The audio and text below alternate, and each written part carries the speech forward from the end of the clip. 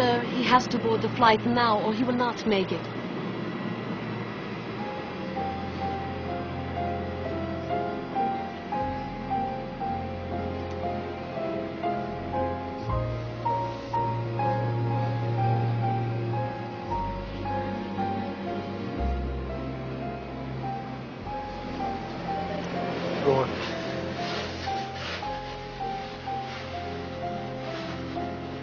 Revoir, papa. Au revoir, mon fils.